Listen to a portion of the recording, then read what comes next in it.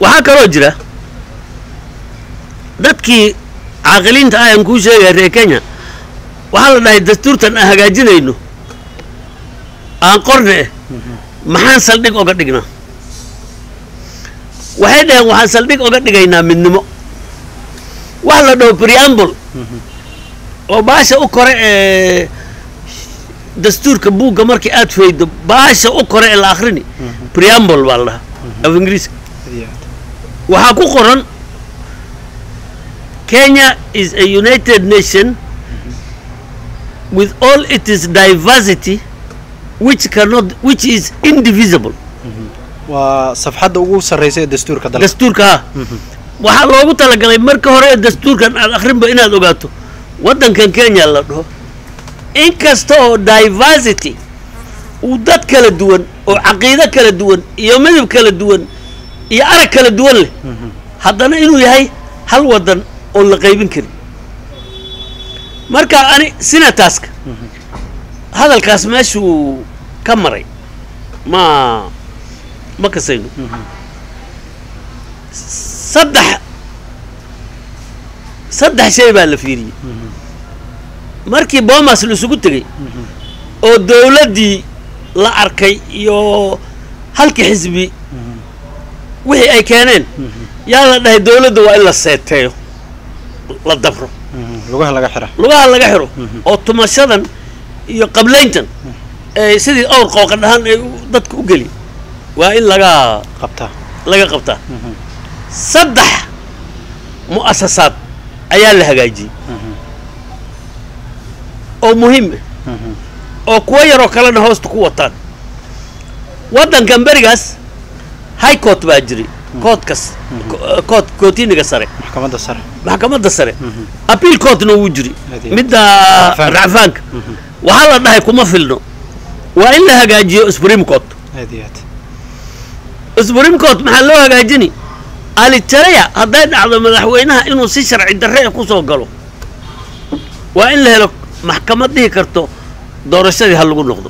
Wayna dhacdo waa lagu noqday waad ogtiid supreme court inuu ilaaliyo. Haddii saddex saddex tiir baa jira dawladda cadaaladda hirgelinta sharciyeynta. Hadduu mid sambirirxoodo inay lagu qabto. lagu qabto waa la hirgeliyey qodobka kale ee aad u adkaa wuxuu ahaa qodobka xafiiska d p p director of public prosecution. Director of public prosecution waxaa laga soo bixiyey wasiirka sharciga xafiiskiisa. Dowladdii halka xisbi ahayd prosecutionka dacwadda ayay u isticmaalaysay inay dadka ku ku cadaadiso oo ninkii ra'yikooda ka duwan la xiro detention la geliyo. Waxaa jira horta waxa la dhaho detention lagumana xiraayo ciddaadana ma joogaysa xabsi guri baad ahaani. Ma maqli? Meel baa lagu xirayaa meel baa lagu xiraya. Horta sharciga iyada bomas waa la tuuray. Waxaa la dhahay dadka reer kenya waa inay maxkamad la geeyo. Haddii kale uu gurigiisa joogo oo xor uu xor ahaado marka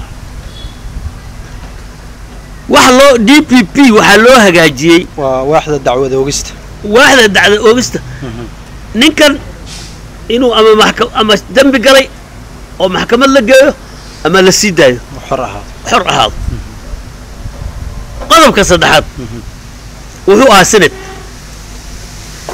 Senate waxaa loo hagaajiyey inuu ahaado dhulka waddanka haddii wax la isku qaban waayo inuu senatka direction siiyo. Inuu ilaaliyo devolve government. Dowladdan eh, muxuu ahaa dowlad goboleedka inuu ilaaliyo. Inuu ahaado meesha waddanka midnimadiisa laga laga abaabulo isku haysa. Isku hayso. Nasiib darre aada u weyn baa dhacday. Ma aana moodaynin sinadka inuu sidaas uu ahaani. Oo dad qaarkii uu xabadka qaraacayo dhihi aniga aniga aniga horta aniga ma jirto meesha waddan kenya la dhaha la isku aad annaga waan ogolnahay dadka tirada badan in la siiyo xuquuq dheeraad ah maal la siiyo. Laakiin annagana waa inaan jirno oo jiritaanka annaga waa wax muqadas ah wax horta xafiiskaas madaxweynaha. Mhm. waa waa xafiis aada u weyn. Mhm. Eh, xafiis in mar walba wax laga sheego Mhm. ee ma aha. Waxaan hadalka ku soo koobi. Haddii aan la helin dad isu tanaasulo oo waddani ah kenya way burburi ninkii mas'uul ka noqonna asaa asaa og. Qofkii meesha joogaa kaa noqoni yaa ka noqon. Mhm. Horta annaga waxaan leenahay waxaa wey midnimada kenya ha jirto Mhm. nin walbana xuquuqdiisa ha helo Mhm. sidii preambolki marka hore aan u sheegay nin walba oo reer kenya ah xuquuqdiisa wadaninimo ha helo midnimada waddankana ha jirto ha jirto Mhm. Waxaa weeye Mhm. soomaalida waxay dhahdaa biyihii kulman baa keli waraabsha Mhm. xoolaha annaga iyo dadnimada annada waxaanu ku muuqan karnaa markii madaxda annada ay midaysan yihiin. Bal xoolo dhaqadka turkana iyo masaai xagga dhig. Dadka annagan isku dadka afkan ani hadda aan ku hadli ku hadli. Ee wajeer iyo mandera ay gaaris dego. Yaanba isku dad ahaynbo. Iyo xitaa tana river. Ma maqli. Mhm. marka markii la helo dad midaysan oo hal mawqif ee leh. Xoolo dhaqadka kenya hadday helaan wax ilaahay moogi wax kale u baahan yihiin. Ma ma jiro. Waxaan hadalka ku soo koobi. Horta sanadan Mhm. dhibaato badan baa dhacday. Sinadka kenya dadka ku jiro dad wax kasi hadday yihiin sanadan lacag lagama hadleenba maxaa dhe kun iyo eighteenki abaar weyn baa dhacday. nineteenki waxaa dhacay floods.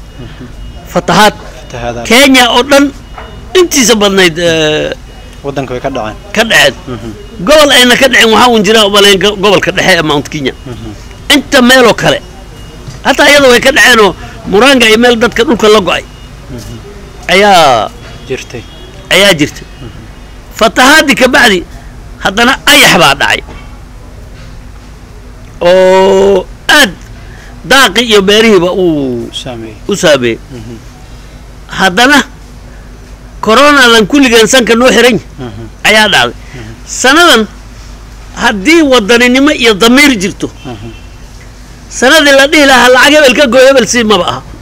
Waa uu sanadii la dhihi lahaa war see waxaan looga baxa. looga baxa. Mhm.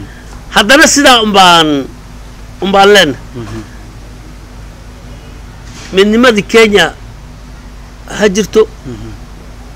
dadkana isku xuquuq ha ahaado dadka north eastern province iyo dadka xoolo dhaqadka ena ha midoobaano oo ha muujiyaano khayraadka ay leeyihiin Mhm.